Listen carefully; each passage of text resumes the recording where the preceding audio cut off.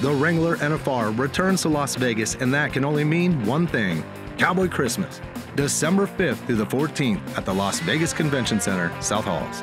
Catch live interactive shows including Outside the Barrel with Flint Rasmussen and Keeping It Country with Andy Griggs. There's also the Junior World Finals in the Wrangler Rodeo Arena, autograph sessions, and more. Open 9 a.m. to 5 p.m. daily with free admission. Visit NFRExperience.com. Cowboy Christmas. It's all here.